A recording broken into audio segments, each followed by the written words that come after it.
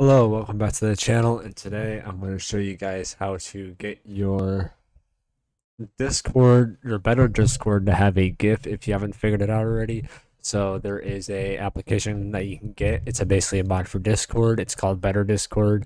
It's easy as hell to install. It just sets up and overwrites your Discord, sets it up with custom themes. So uh, you can use it to get custom images on your Discord for a wallpaper, but you can also change it to have any image you want. So all you have to do is simply install Better Discord. Right here. I'll put the link in the description.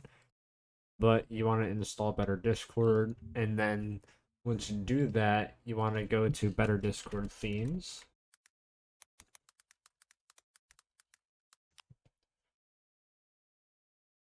And then you want to grab just grab any theme you want to. I already have one so i'm not going to worry about it.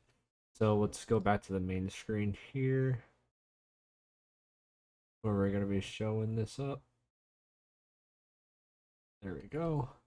Get rid of this screen. Okay so in order to do it once you go into uh, get your image once you have it you go to your themes in here once you've downloaded your css theme right here. So mine was new kimono friends theme. It was an anime one. I it was like the best one I saw on there, so I grabbed it.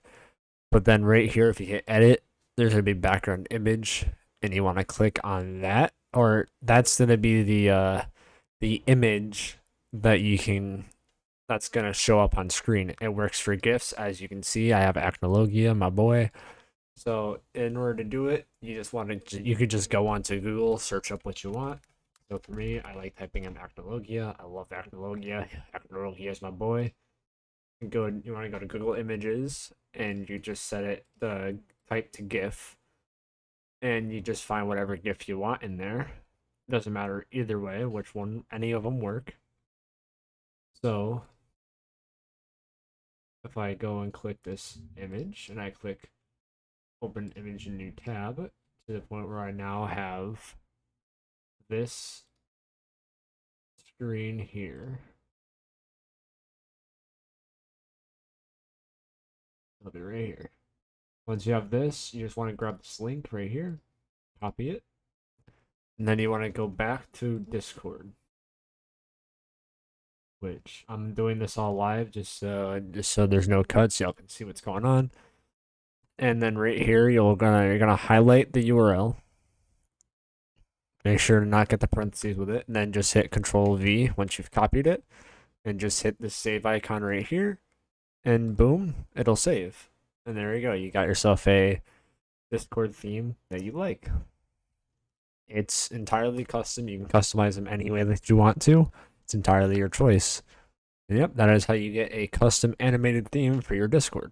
I will put better Discord and Discord themes into the into the description down below all you guys have to do is click on them, go what you want, and then take whatever image links that you got and put them right in here into the into the code, and that's all you need to do, and that's how you get your custom theme for Discord.